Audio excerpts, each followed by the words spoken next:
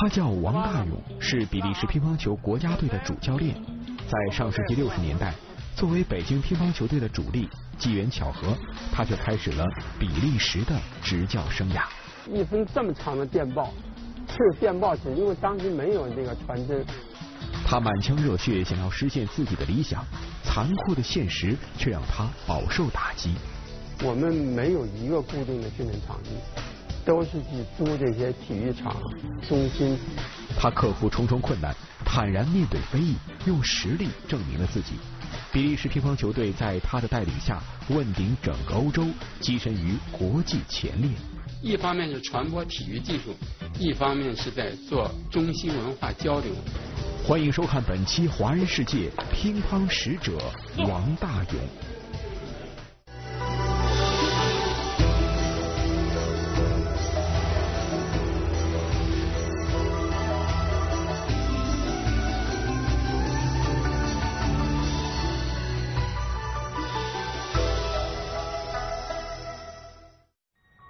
我们华人世界摄制组这一站来到了比利时，在这个面积约三万平方公里的国家，人口达到了一千两百三十万。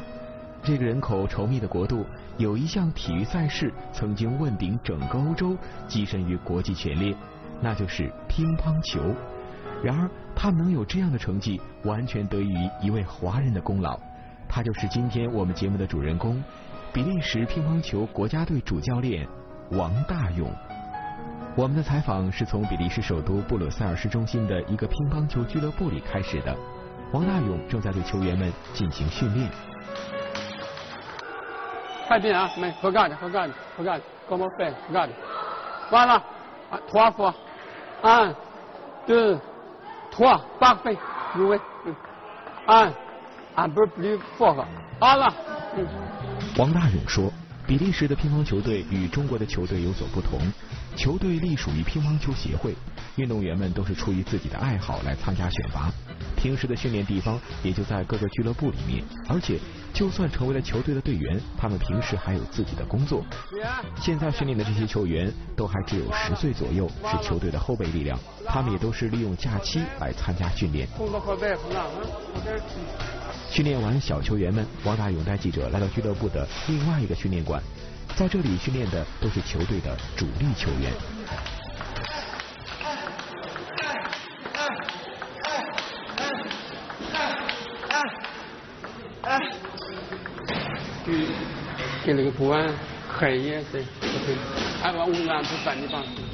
王大勇正在指导的这位球员叫做赛福。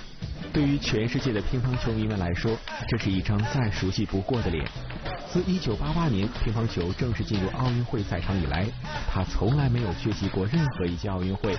在上世纪90年代，赛福是极少数能让中国乒乓球男单金牌成为悬念的欧洲人，并且多次排名世界第一。然而，赛福能有这样的成绩，也是王大勇一手训练出来的。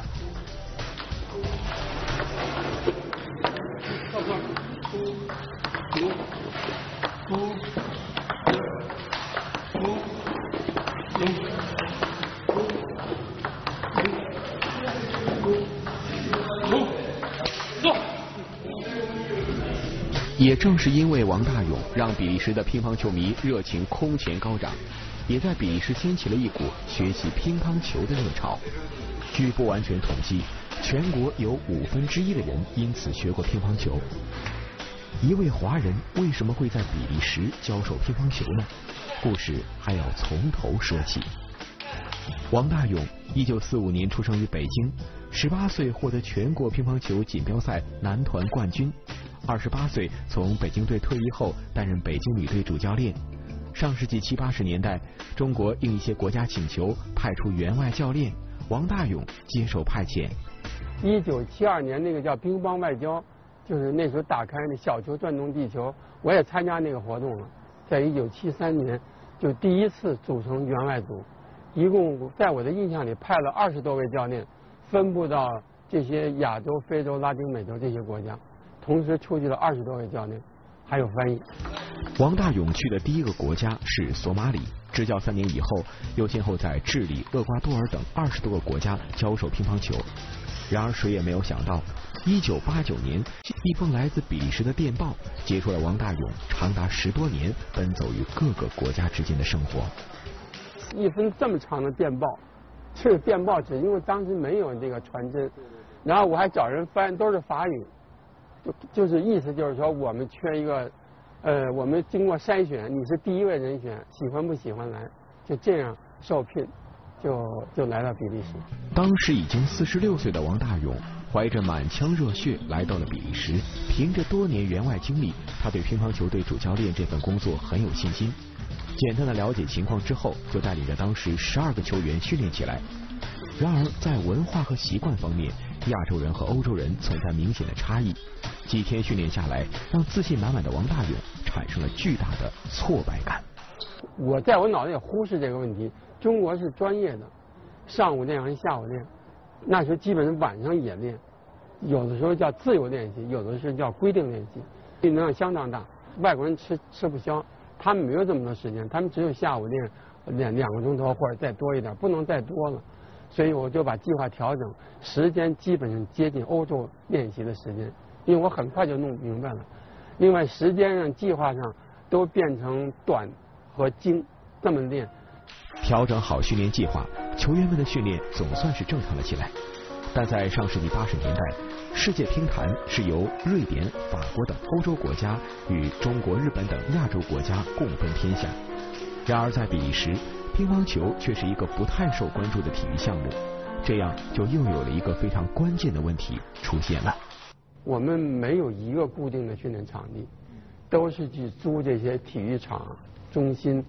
人家下午篮球打完了，我们打乒乓，打完了把球台还得给人推回去，一直这么多年，都是这种条硬件条件很差，但是呢，就是训练时间没有。比如说你想星期五下午练，星期六练，举例子，没有场地，没有球台。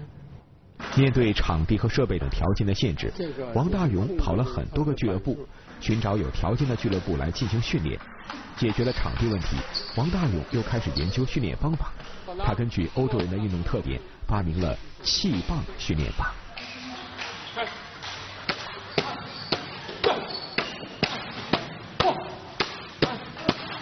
所谓气棒训练法，其实就是王大勇从啦啦队找来的气球棒，根据击球的位置，找准几个点，让球员们反复击打。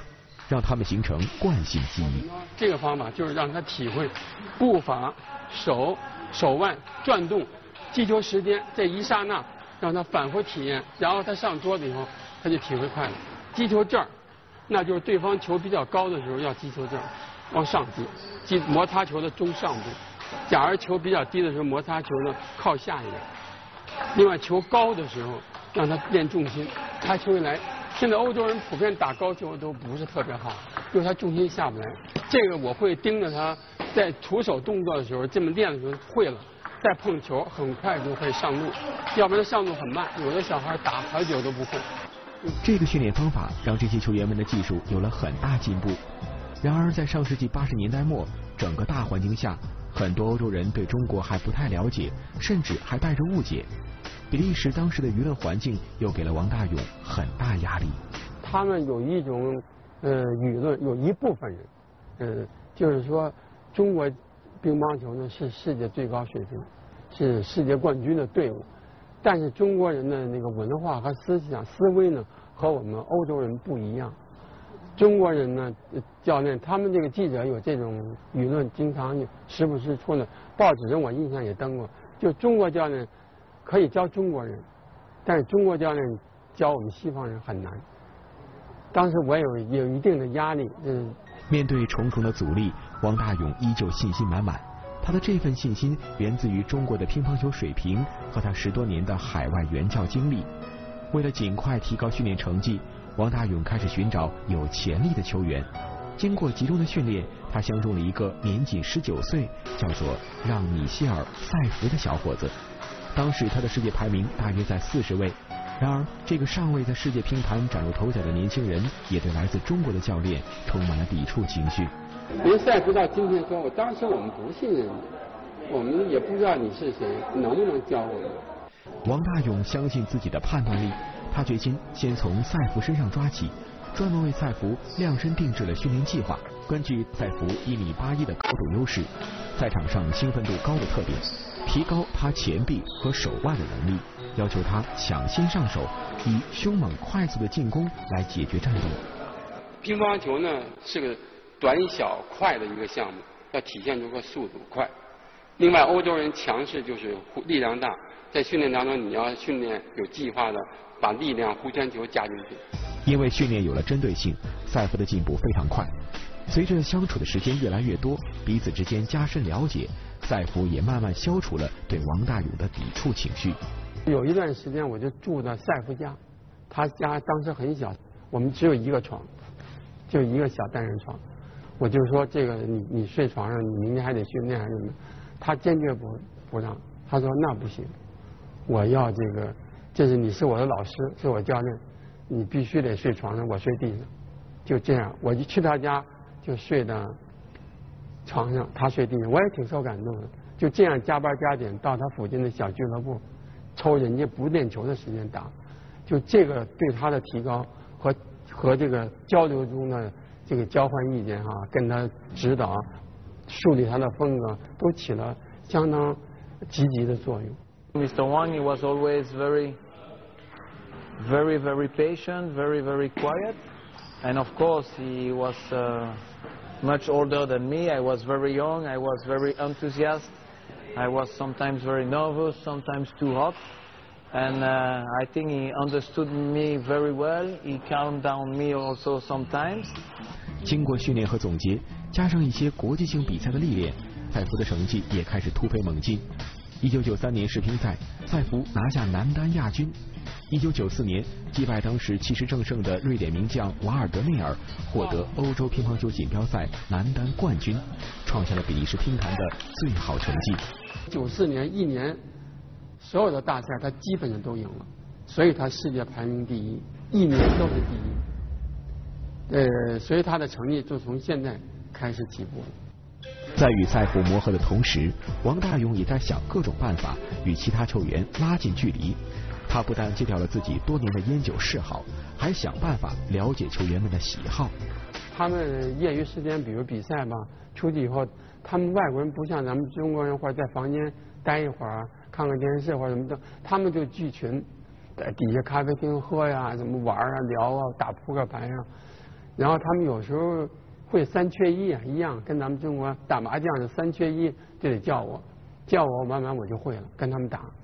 他们这个反应就不一样，实际这一个小事儿，就跟他们融入度越来越高，喝咖啡啊、聊天啊、打牌啊，他们就觉得说王就是我们的人，就是文化，就是说和和可以入乡入乡随俗。与球员们打成一片以后，训练起来也就更加的轻松。经过一系列的强化训练，王大勇用成绩证明了自己的实力。不到半年时间，比利时乒乓球队就从欧洲的乙级球队提升到了甲级球队的行列。一九九一年，第四十一届世界乒乓球锦标赛在日本千叶举行，千叶大战，中国男团跌落至第七名，而王大勇率领的比利时乒乓球国家队却闯进了团体前四名，让世界为之震惊。这次成绩我们是突突出的好，就对比利时来说。我们从机机场回来，从千叶飞到比利时的布鲁塞尔机场，上百人的直接到飞机底下去欢迎我们。当时对我来说，我第一次有生参加带着一个队参加世界锦标赛，这个兴奋度，我当时真是不可形容的。怎么这么受受欢迎哈？这次比赛结束以后，王大勇在比利时执教两年的合同也即将到期。随后，比利时乒乓球国家队又与王大勇签下了一份为期五年的执教合同。然而，正当王大勇享受着胜利喜悦的时候，却遭到了身边一些朋友的不理解。呃，作为我来讲，我当时对王教练这个做法也有看法。我们理解不到他那个这个角度，就是说，哎。呃，所以有很多年我都是不跟王教练接触的，就是这这，我们是同期到达比利时的，但是前十年我根本就没有跟他接触过。当时有一种舆论就叫海外兵团，那舆论就报纸我们老看报纸都说这海外兵团，好像这个一起什么就是对中国队构成威胁啦，什么这个。后来我就提出一个海外兵团应该是改一个字，叫海外使团。咱们每一个人呃就是一一扇小小的窗窗户，这个窗户就是中国的窗户，因为你无论走到哪，人家一看中国人，这是呃永远不会变。非议并没有阻碍王大勇对球员们的训练，他比以前付出更多。二零零一年，王大勇率领由在福担当主力的比利时男队出征在日本大阪举行的第四十六届世乒赛，并一路过关斩将，杀入男团决赛。虽然最终没有能够战胜中国，获得了亚军，却创造了比利时运动史上团体项目最为辉煌的战绩。